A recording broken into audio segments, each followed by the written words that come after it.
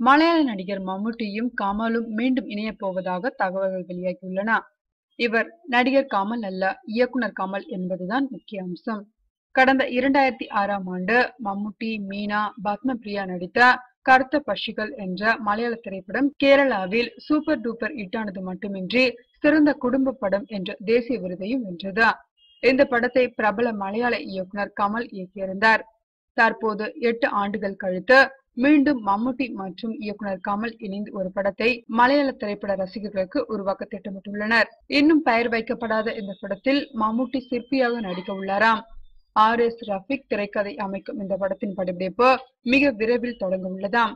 மலையாள தொலைக்காட்சிகளில் புகழ்பெற்ற தொகுப்பாளராக இருந்து பின்னர் சினிமாவுக்கு வந்த ஜவால் மேரி இந்த படத்தில் மம்முட்டிக்கு ஜோடியாக நடிக்கிறார்.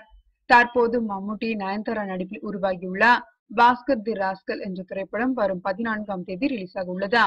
இந்த படத்தை விஜய் நடித்த ஃப்ரெண்ட்ஸ் காவலன் போன்ற படங்களை இயக்கிய சித்திக் இயக்கியுள்ளார் என்பது குறிப்பிடத்தக்கது.